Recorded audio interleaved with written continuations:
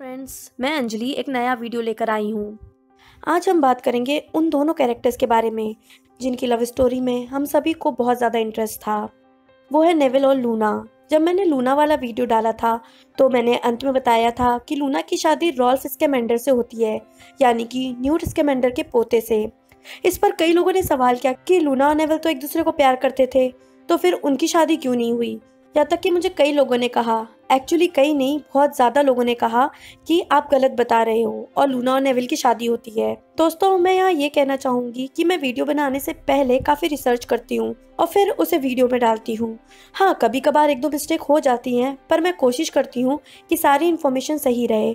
उन्हीं में से एक फैक्ट है लूना और नेविल का रिलेशनशिप दोस्तों, अगर हम अब तक की इन्फॉर्मेशन पर ध्यान दें और सभी फैक्ट्स को एक साथ रखकर देखें तो हमें पता है, अब तक की बहुत सी चीज़ों को मूवी में अलग दिखाया गया है और बुक में वो अलग है। कई कैरेक्टर्स तो मूवी में है ही नहीं, कुछ का बस ज़िक्र भर है और मूवी को इंटरेस्टिंग बनाने के लिए ओरिजिनल स्टोरी में बहुत से चेंजेस कर दिए गए हैं। उनमें से ही एक स्टोरी है लूना और नेविल की। मूवी के एंड में दिखाया गया है कि नेविल को लूना पसंद है और वो कहता है कि वो उसका दीवाना है। वहाँ ही लूना भी शायद नेविल को पसंद करती है, पर इससे आगे मूवी में भी कोई बात नहीं दिखाई गई है। अगर हम बुक को कंसिडर करें तो लूना और नेविल के बीच में कोई प्यार वाला रिलेशन नहीं दिखाया गया। है वो सिर्फ़ एक अच्छे दोस्त होते हैं, जैसे कि हमाइनी और हैरी, या लूना और हैरी, या नेविल और हमाइनी। लूना नेविल को सिर्फ़ दोस्त मानती थी, जैसे कि वो रॉन, हमाइनी और जिनी को मानती थी।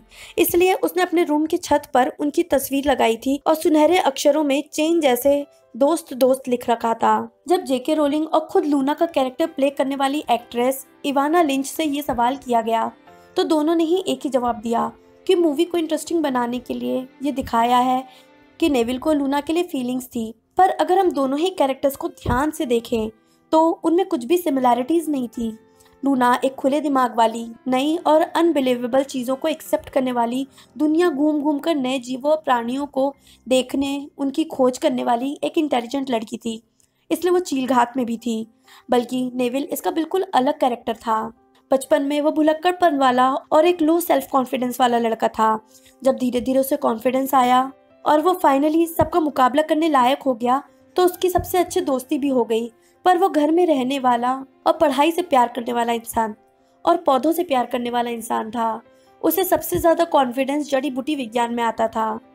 वो बहादुर था, इसलिए वो गुरुद्वार में था।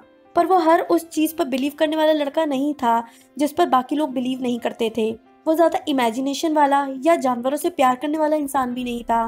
कोई दो लोग एक दूसरे से जितने अलग हो सकते थे नेविल और लूना वैसे ही लोग थे।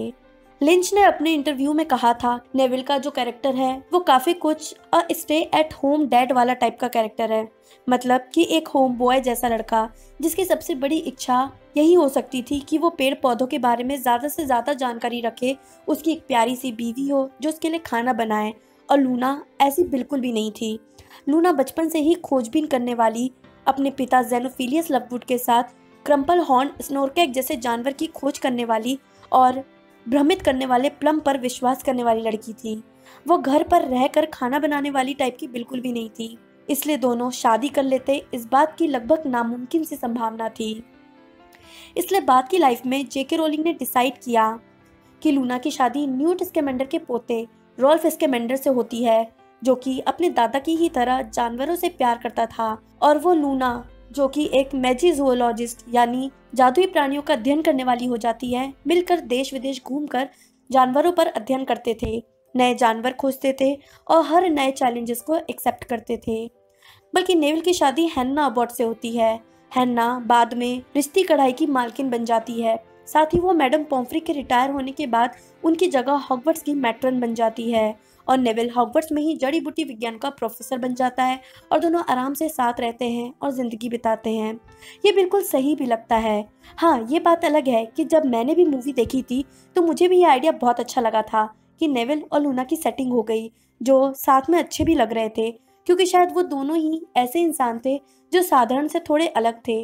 और एक दूसरे की इसी बात को पसंद भी करते थे। पर वो सिर्फ़ बचपन के प्यार जैसी चीज़ थी, जैसे कि हैरी और चो की या रॉन और लेवेंडर ब्राउन की। हर रिलेशन का एंड शादी ही हो ज़रूरी नहीं। इंसान जैसे जैसे बड़ा होता है, उसे अपनी पसंद और प्रायोरिटीज़ पता चलने लगती है, और वैसे ही हुआ नेविल और लूना के साथ। तो दोस्तों, आपको ये वीडियो कैसा लगा? कमेंट बॉक्स में बताएँ। वीडियो को लाइक करना बिल्कुल ना भूलें। मैं जल्दी ही नए वीडियो के साथ फिर आऊँगी। तब तक के लिए बाय बाय